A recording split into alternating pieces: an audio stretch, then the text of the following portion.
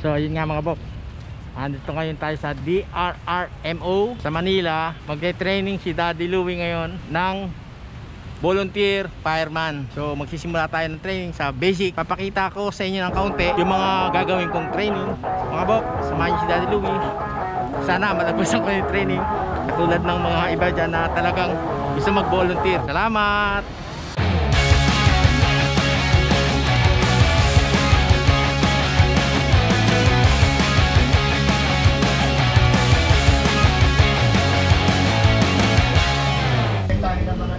Natin during the day kung ano yung mas mapapaiipan natin sa training na pagtulungan natin. Mga bok, lunch time muna tayo. Mamayang alauna, babalik para sa training na to. Yung mga magduksong ng hose, hosing, firefighting. Marami na tayong gagawin. So, yun na lang. Kakain muna kami ha. Lunch time muna tayo. Balikan ko kayo mamaya uli para sa training nito Daddy Louie.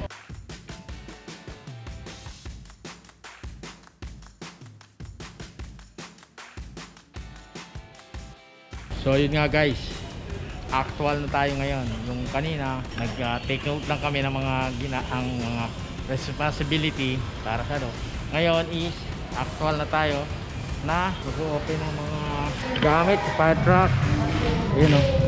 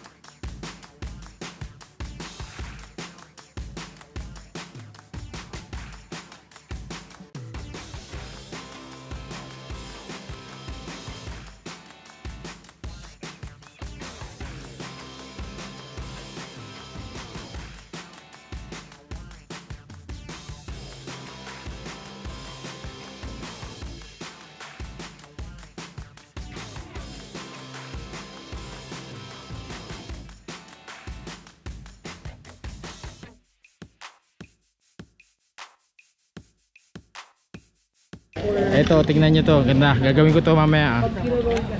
Gagawin ko to mamaya mga bok. Tingnan nyo to. Ah, kailangan naka nakababa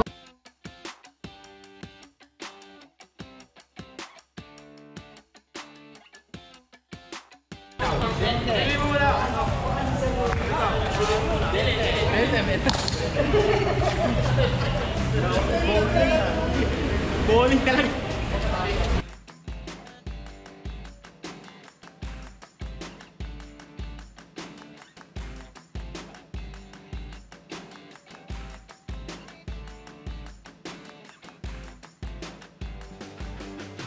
Bok! Parusa to!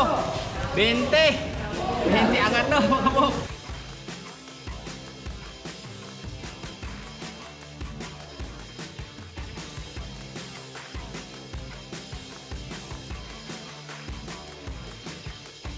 Pero, yun o. katulad namin. Ganon din sila pagka nag ano, pag hindi pumukol, hindi tumama, may parusa rin sila.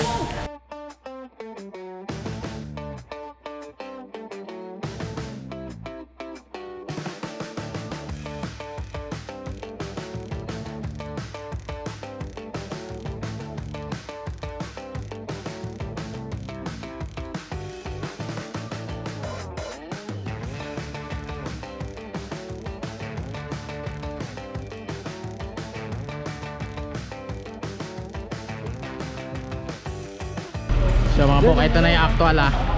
Actual sample. Kunyari merong re-responding sunog. So ito yung actual.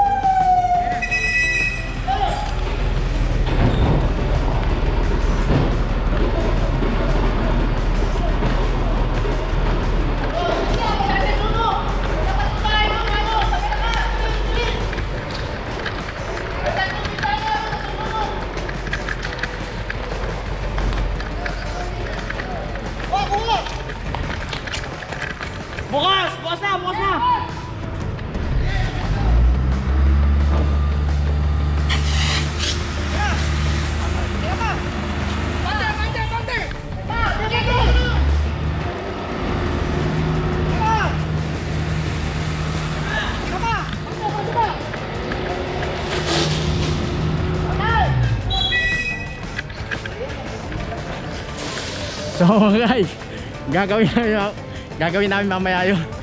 So tatlong hose. Diretso, takbo, takbo, pinutol, pinutol. Putol, putol. Gagawin na namin ngayon yan. Yung bote, kunyari yun ang apoy. So mga bok, mga seal naman muna ngayon ay yung mga membro namin. So titingnan natin kung paano yung training na yan. So mga sa susunod, kami naman ngayon, kami naman uli. Kaya lang, wag muna ngayon.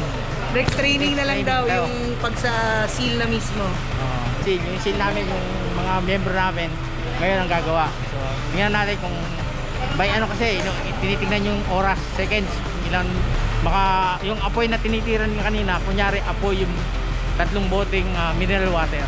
So, tingnan natin kung paano.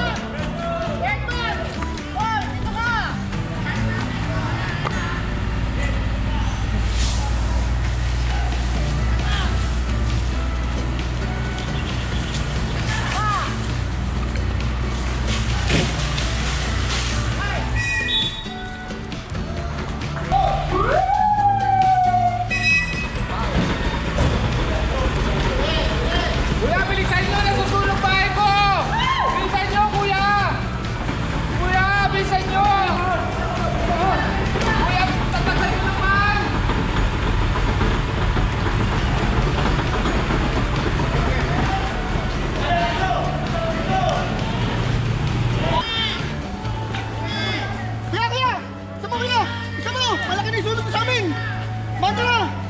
Kaya nga! Ano baliktad mo? Banda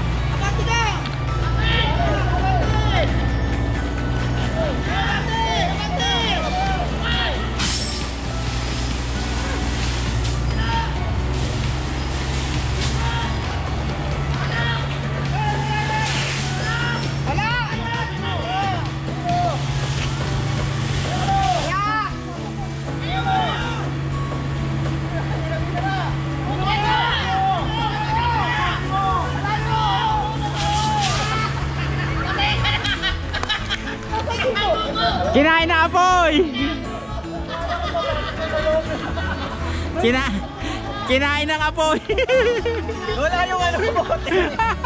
Naiba posisyon mo na.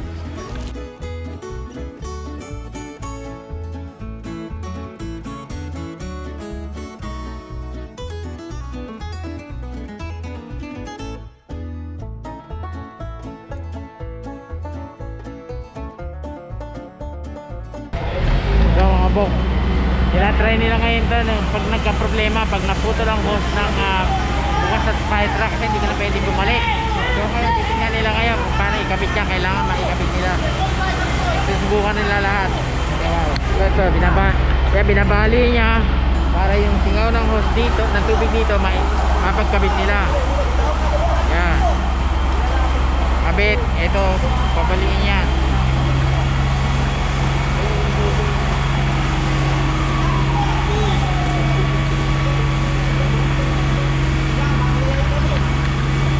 Ito na, pipilitin niya maikabit dyan.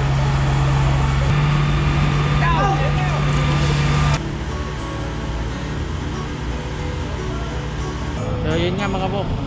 Nandito na tayo sa headquarters ng ZIL. So ito yung truck na ginagamit namin dati. So under repair na under repair siya. Nagawaan. Ito na mga member ng ZIL. So oh, di ba? Sila rin ang gumagawa ngayon ng ating fire truck. Oh, yun, oh, meriendahan, oh. oh, ayun na. Pinturahan na ngayon, oh. Finishing na red na kulay. So, yung kanina nga, yung training natin kanina, so mahirap na mahirap talaga ang trabaho ng isang volunteer na fireman. So, sana frontliners din sana talagang kailangan ng tulong ng ating mga fireman, lalo na yung volunteer. So ito, katulad ng ganito, inaayos na nila yung fire truck. So pagka nag- nagkaroon tayo ng responde, so ito na. Basta marami sa, pauwi na din kami. Tapos na kami sa training ng ah,